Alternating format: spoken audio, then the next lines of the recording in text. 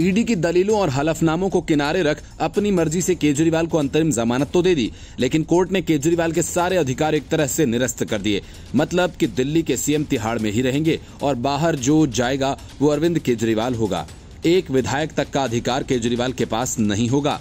केजरीवाल को दी गई अंतरिम जमानत में अपने आदेश में सुप्रीम कोर्ट ने साफ़ कहा कि अरविंद केजरीवाल सीएम ऑफ़िस और दिल्ली सचिवालय नहीं जाएँगे। सुप्रीम कोर्ट ने अपने आदेश में कहा कि बिना दिल्ली के उपराज्यपाल के आदेश के किसी भी सरकारी फ़ाइल पर केजरीवाल साइन नहीं करेंगे।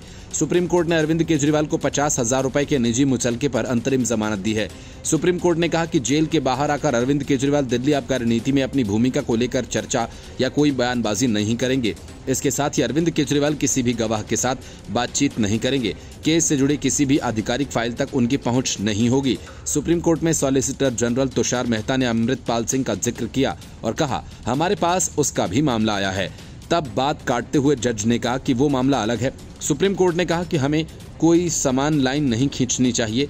ये कहकर एक तरह से अदालत ने ईडी के हलफनामे को निपटा दिया, जिसमें कहा गया था कि केजरीवाल को अंतरिम जमानत देने से गलत परंपरा कायम होगी।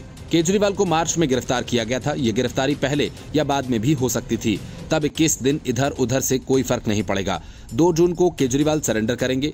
अरविंद केजरीवाल को अंतरिम जमानत मिलने के बाद भाजपा ने भी कहा कि चुनाव के लिए केजरीवाल को जमानत मिली है। केजरीवाल को 2 जून को फिर से जेल जाना होगा। आज कोर्ट में यह साबित हो गया कि वो करप्शन में लिप्त हैं। ज़ाहिर है, जिस तरह की बंदिशें सुप्रीम कोर्ट ने केजरीवाल पर लगाई, उससे तो साफ़ है कि कोर्ट ये मानकर चल रही है कि केजरीवाल ने कुछ तो गोलमाल किया होगा। इससे पहले ईडी ने उनकी जमानत का विरोध किया था। ईडी ने कहा था कि सामान्य नागरिक की तुलना में एक राजनेता किसी विशेषाधिकार का दावा नहीं कर सकता। अपराध करने पर उसे किसी अन्य नागरिक की तरह ही गिरफ़्तार और हिरासत में लिया जा सकता है। जस्टिस संजीव खन्ना और दीपंकर दत्ता की पीठ ने कहा कि कथित आबकारी नीति घोटाला से जुड़े मनी लॉन्ड्रिंग मामले में गिरफ़्तार केजरीवाल को दो जून को आत्मसमर्पण करना होगा और जेल वापस जाना होगा।